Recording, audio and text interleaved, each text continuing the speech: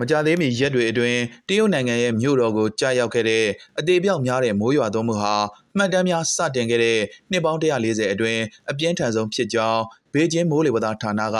ဩဂတ်စ်လ2ရက်ဗုဒ္ဓနေ့ကထုတ်ပြန်ခဲ့ပါတယ်။မကြသေးမီသတင်းပတ်များအတွင်ကမ္ဘာတဝမ်းမှာပြင်းထန်တဲ့ရာသီဥတုပြောင်းလဲမှုများနဲ့ကာလရှည်အပူလိုင်းရိုက်ခတ်မှုဒဏ်ကိုတန်းနဲ့ချီတဲ့လူတွေထိခိုက်ခံစားခဲ့ရပြီးရာသီဥတုပြောင်းလဲမှုကြောင့်ပုံမိုဆိုးရွားလာနေကြောင်းသိပ္ပံပညာရှင်တွေကပြောကြားခဲ့ပါတယ်။ဒီမုန်တိုင်းအတွင်းချင်းပင်ဒေသက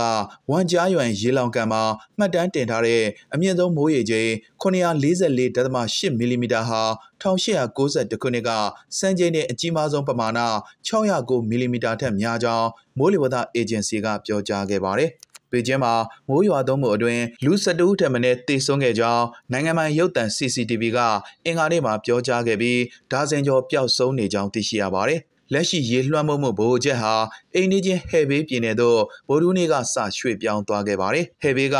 ကြိုကျူးမြို့ကို AFP ကရိုက်ကူးထားတဲ့ဓာတ်ပုံတွေမှာအညိုရောင်မြင်များအဖြစ်ပြောင်းလဲသွားတဲ့ဈေးဝယ်လမ်းတွေကိုတွေ့မြင်ရမှာဖြစ်ပြီးအနည်းအနားကလုံးဝနှိမ့်မြုပ်နေတဲ့လယ်မြေကွင်းတွေစီကမိုင်နဲ့ချီရှည်လျားတဲ့ရေလွှမ်းမိုးမှုတွေကိုပြသနေပါတယ်။